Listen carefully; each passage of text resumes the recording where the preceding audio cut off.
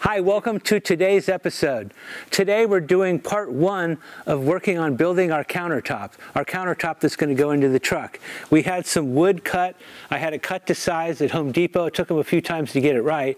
We've glued it, sanded it, and screwed it together. Now I have clamps on the edges. So I'm going to show you how we did that. And this is part one. And then we're going to come back with a part two because we have laminate that we bought. We're going to laminate the top and laminate one uh, side edge of it. And then also we're going to be cutting out the area where the sink is going to go. So that's going to be part two. So this is just going to be a short video, part one, getting our countertop ready to go before we laminate. Okay, today as part of working on building our countertop, I have this little Bora, B-O-R-A, little stand thing that we're going to put together to use. It's pretty neat how this works.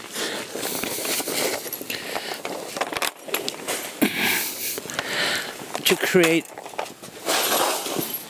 my own little work area. This just pulls out like that. And now I have a work area. Got one, two, three, four, five, six, seven, eight, nine little areas to, for flatness to put stuff on. For creating a work area, I just use some styrofoam. I can just set right on top of here and actually have some cut marks in here. This is great for cutting boards because you can cut and have your blade just go into the styrofoam. This doesn't cost much. You can replace them. I've got two pieces. This is, was a 4 by 8 4 by 8 sheet I just cut in half. So I have both sides.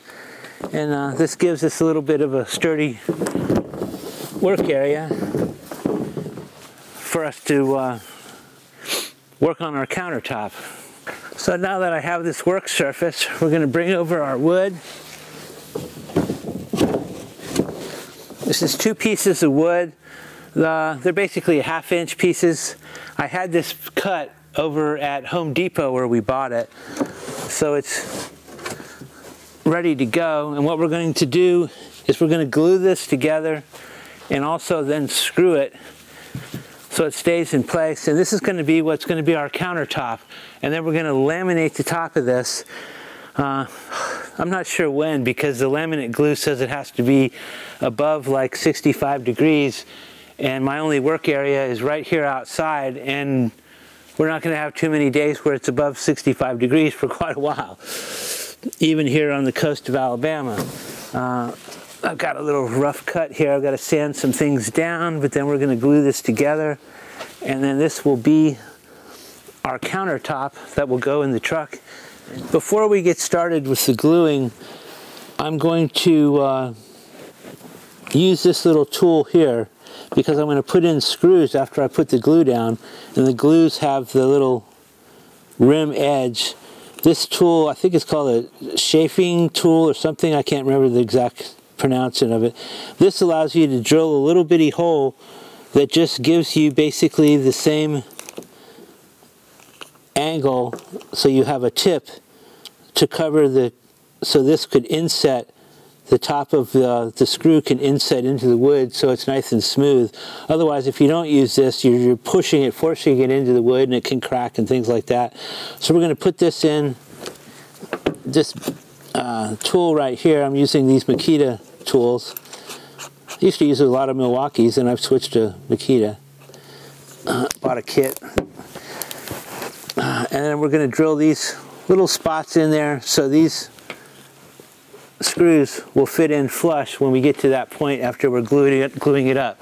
Okay, using this bit, I'm going to make my little holes here. I'm just going to show you one.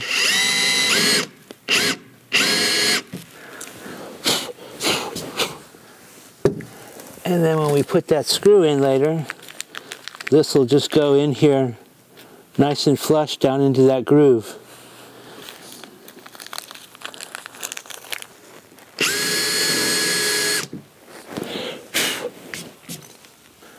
I have 12 screws I'm going to put in. So I'm going to make 12 of these little spots here. I'm also giving it a little bit of space away from the edge because I might, to get a straighter edge when we're completely done, I oversized this just a little bit. I can cut, you know, quarter of an inch off the edge if I need to make this straighter.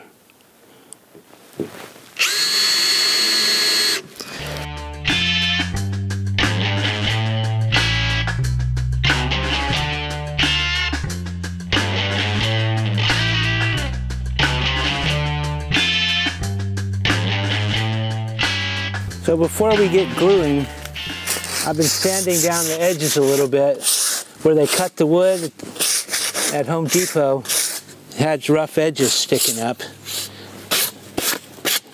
So I'm just getting rid of all that rough edge, extra little pieces of wood sticking up, wood slivers.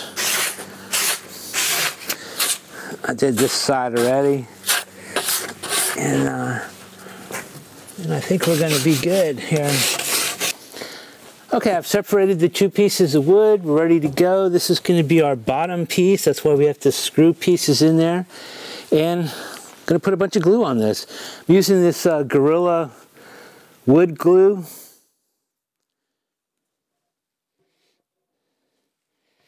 Oh, this doesn't come out too easy, does it?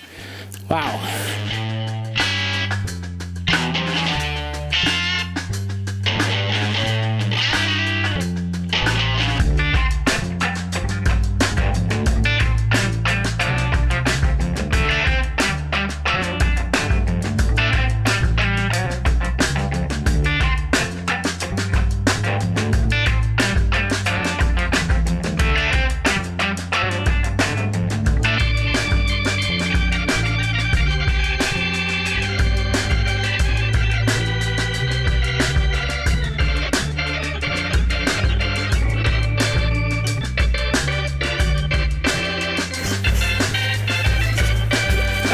Okay, this wood over.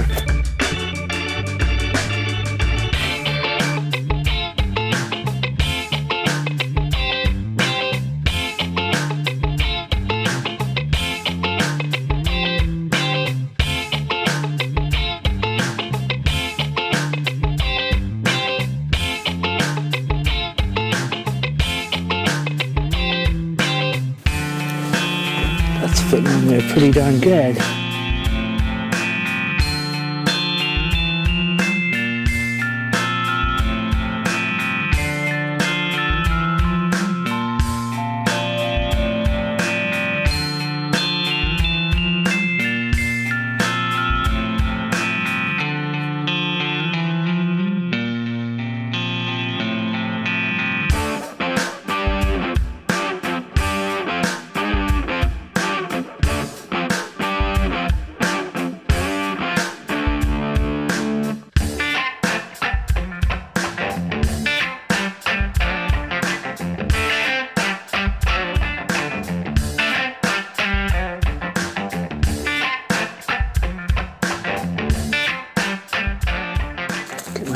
Screws here.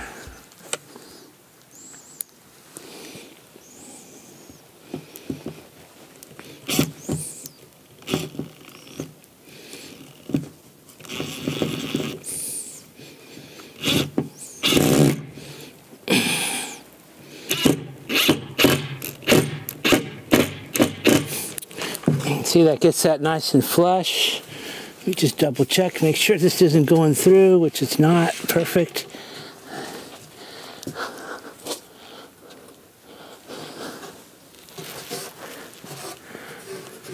Those don't screw in super well starting.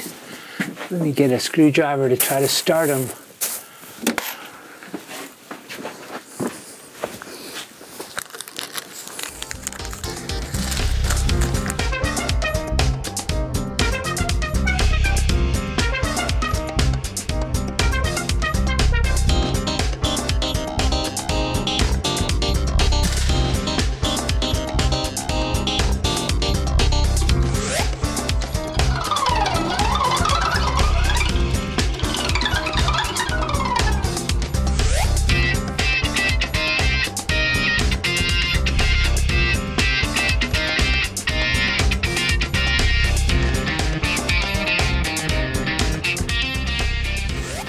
Couple more screws in. I pretty much used that whole entire bottle of glue. I'm glad I got that uh, size. I almost bought a smaller one. I didn't think I'd use that much, but I did.